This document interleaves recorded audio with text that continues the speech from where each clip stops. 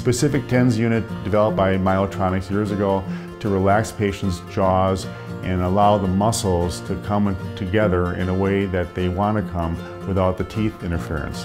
So that deprograms muscles is really what it's doing. It's, it's removing all the programs, the neuromuscular programs that have been developed by not having a teeth bite correctly for many years oftentimes.